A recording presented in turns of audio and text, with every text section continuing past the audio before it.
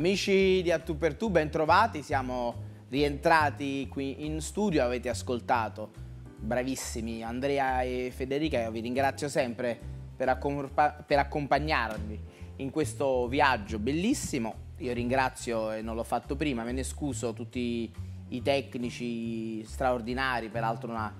banda di, di, di, ragazzi terribili, bravissimi, da, da, Luca a Stefano a Raffaele, Carmine, tutti quanti straordinari, davvero eccezionali, Salvatore, capitanati da un ex ragazzo ma sempre terribile, il mio grande regista Mario Albano, che ogni settimana ci aiuta a mandare in onda questa trasmissione su GT Channel e PN. Fatti dovuti ringraziamenti.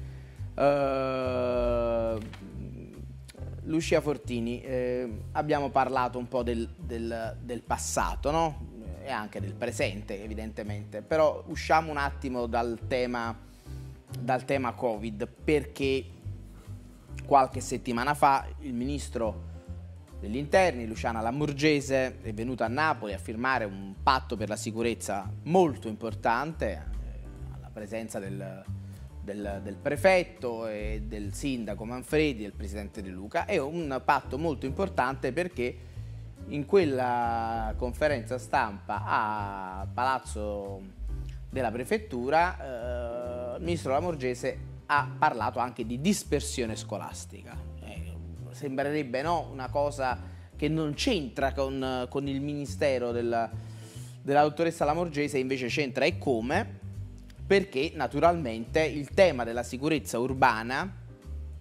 nelle realtà diciamo meridionali e non solo, perché non è solo un tema del mezzogiorno, ma qui purtroppo il tasso di dispersione scolastica è molto alto, si intreccia col tema della sicurezza. Ce ne parli? Ma anche rispetto a questo bisognerebbe fare un distinguo, perché molti parlano di dispersione scolastica. Eh non a ragion veduta. Mm. Quando ti, tu parli di dispersione scolastica parli del tasso di, di, persone tra i 16 e i 25 anni che non hanno ancora acquisito un titolo almeno triennale superiore alla licenza media. Mm. Perché dico questo? E poi invece c'è l'abbandono scolastico, molti eh, ne parlano, cioè ragazzi che non frequentano, frequentano saltuariamente la scuola. Perché lo dico? Perché ci sono una serie di programmi che noi abbiamo finanziato attraverso la Regione Campania. Poco fa ho parlato per esempio di Scuola Viva, quindi l'apertura pomeridiana della scuola, che sicuramente sono utili per il contrasto all'abbandono scolastico. Sì. Eh, tieni una scuola aperta, eh, la fai diventare in qualche maniera motore di sviluppo per un territorio, cerchi di eh, coinvolgere le associazioni che operano in un determinato contesto. Ovviamente questo non ti fa abbassare il tasso di dispersione scolastica, per questo la Regione ha immaginato una programmazione che ha 360 gradi, cioè da una parte potenziare quelli che sono gli strumenti per dare una mano ai nostri ragazzi a stare all'interno delle scuole in maniera più comoda.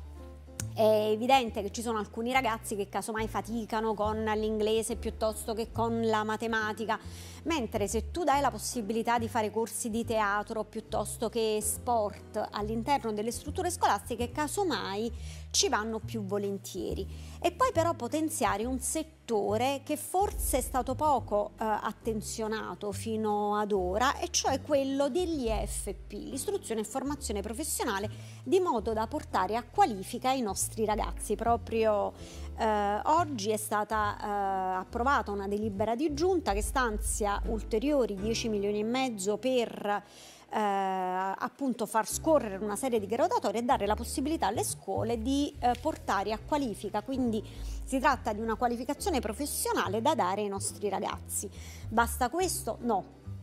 non basta perché spesso eh, i ragazzi non frequentano la scuola o non la frequentano con particolare profitto perché hanno per esempio delle famiglie mm. che non vedono nella scuola una risposta.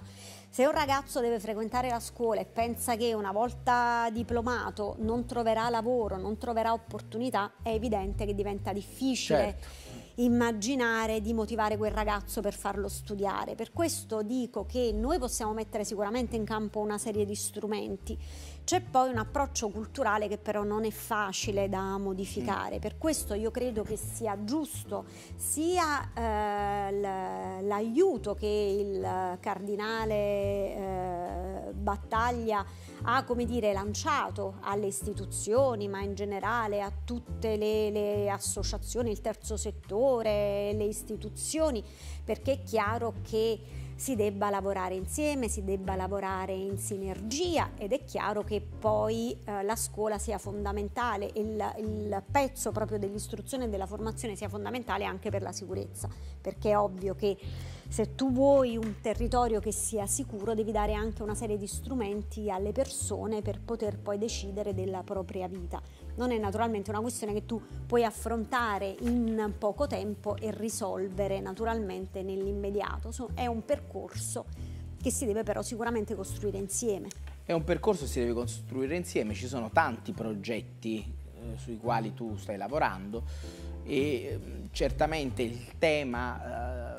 della cosiddetta alternanza scuola-lavoro è un tema importante, abbiamo visto tristemente, ma naturalmente questo non c'entra nulla con la misura che qualche, qualche, giorno fa un ragazzo in Friuli è morto uh, all'ultimo giorno di stage. E sappiamo che ovviamente quello che tu dici è verissimo soprattutto in questa realtà. Eh, quali sono però uh, le misure che ovviamente in sinergia, perché è chiaro che la regione non può fare tutto. Eh, non è che la regione è un ufficio di collocamento, quindi deve formare, contribuire a formare tramite gli strumenti, però poi c'è il tema dello sbocco lavorativo. Qua mancano le opportunità e allora come si costruisce secondo te un circuito virtuoso affinché poi questi ragazzi possano tornare a credere loro e, e le loro famiglie che effettivamente il tema dell'istruzione e della formazione è fondamentale per potersi qualificare. Ma guarda, eh, rispetto a quello che dicevi, eh, in realtà io credo per esempio che lo strumento dell'alternanza scuola-lavoro, che ora si chiama PCTO, mm-hmm. tra l'altro il ragazzo era con un contratto di apprendistato all'interno dell'azienda, quindi non aveva assolutamente a che fare con la ex alternanza scuola-lavoro, è invece uno strumento che secondo me andrebbe potenziato perché eh, rispetto a quello che dicevo prima, se un ragazzo eh, crede che la scuola non gli darà l'opportunità di lavorare o vede comunque la scuola come qualcosa di molto lontano rispetto al proprio inserimento lavorativo, probabilmente sarà poco invogliato a studiare.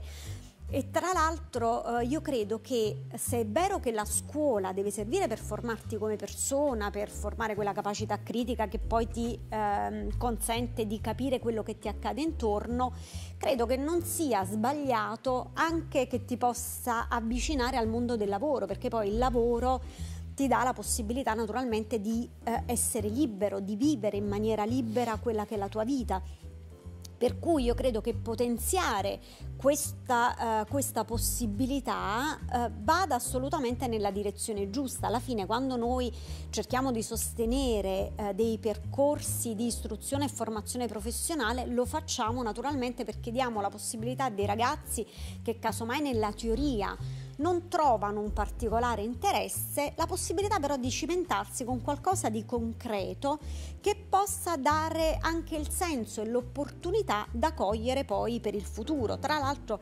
eh, la regione e proprio il mio assessorato sta anche eh, investendo moltissimo sugli ITS, l'istruzione eh, tecnico superiore, perché eh, abbiamo notato la Germania in realtà è stata sicuramente apripista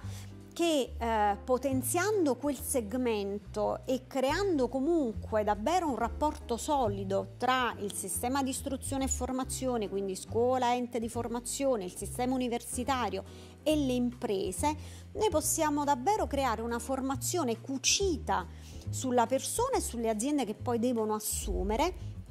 e questi sono percorsi che danno la possibilità di immediato inserimento all'85% esatto. dei eh, diplomati, naturalmente parliamo comunque di percorsi post diploma, entro un anno dal conseguimento del titolo, quindi eh, potenziare praticamente quel segmento che eh, ti consente appunto di avvicinare il mondo della formazione al mondo del lavoro credo che sia assolutamente una grande opportunità per i nostri ragazzi. Sì, è una straordinaria opportunità anche perché,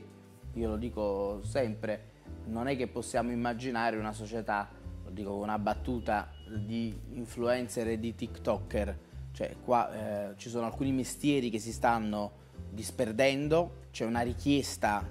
importante dal mondo delle imprese di avere anche una serie di figure mh, professionalmente qualificate e manca, bisogna tornare ad incrociare quella che Keynes definiva appunto eh, la comparazione fra le, la domanda e l'offerta, perché spesso capita che ci sono molte offerte eh, di lavoro ma manca, manca, la disponibilità. E questo è un aspetto molto importante, questo lavoro che state facendo con gli istituti tecnici credo che sia eh, del resto insomma la Germania ci può insegnare anche da questo profilo come si può uh, costruire una nuova classe dirigente che non è fatta soltanto di, di manager o di amministratori pubblici ma è fatta anche di persone che lavorano. E di persone che lavorano uh, ce ne sono anche in questo studio a parte i nostri bravissimi tecnici già citati a cui si aggiunge un altro grande indefesso lavoratore che è il nostro produttore Tony Florio è un settore colpito, cara Lucia, come sai, è quello del, dello spettacolo. Ci sono tanti artisti molto bravi, parliamo magari anche di questo poi dopo, se ti fa piacere, perché penso che eh, la musica, l'arte, la cultura rientrano a pieno titolo nel segmento del, del, dell'istruzione. Io sono molto contento di averli qua, l'ho già detto prima, perché appunto Federica e Andrea mi ricordano di quanto è importante la musica nelle nostre vite. Anche per te, cara Lucia, c'è una bella dedica che i nostri due musici come diceva Totò, ti hanno preparato. A voi ragazzi e poi andiamo in pubblicità.